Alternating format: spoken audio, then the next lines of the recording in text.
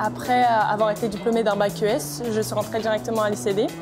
J'ai fait un premier semestre euh, en programme grande école, puis mon deuxième semestre, je l'ai fait à Dublin.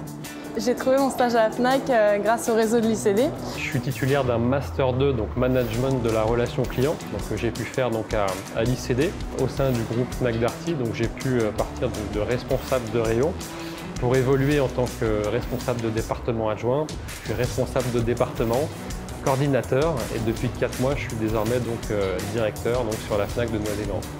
Mes missions à la FNAC, ce sont la fidélisation des clients, servir le client depuis le premier contact euh, jusqu'à l'encaissement et même après, et essayer de les conseiller au maximum euh, pour répondre au mieux à leurs besoins.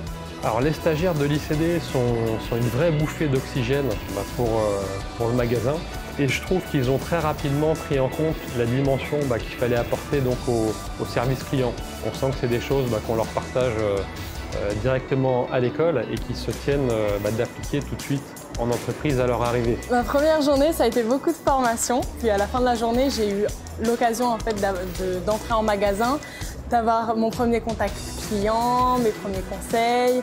C'était assez stressant au début, après euh, j'ai pris l'habitude. Une première journée un petit peu sous, sous la réserve avec beaucoup de timidité.